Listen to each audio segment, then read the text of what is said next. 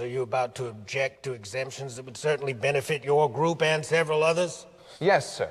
As a matter of fact, we do object. An exemption clause would not change the proposed law so as to modify our opposition. Here is the principle, Senator. If the law were just and perfect, an exemption would not be necessary.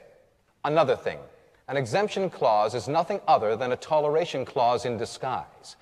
Toleration is not liberty. It is merely a form of condescension, the majority putting up with the opinions and convictions of the minority.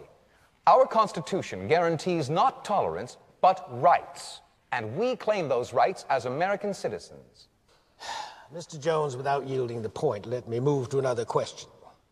How would you react if we were to rewrite this bill as a Saturday law, with Saturday as the Sabbath, not Sunday at all? I suppose you would take a very different position. To the contrary, Senator. All laws that attempt to force the conscience are manifestly unchristian and unconstitutional by their very nature. Therefore, Senator, we are against every Sunday law that has ever been made since the first one enacted by Constantine to the one you are proposing now. And if you changed it from a Sunday law to a Saturday law, we would oppose it just as firmly.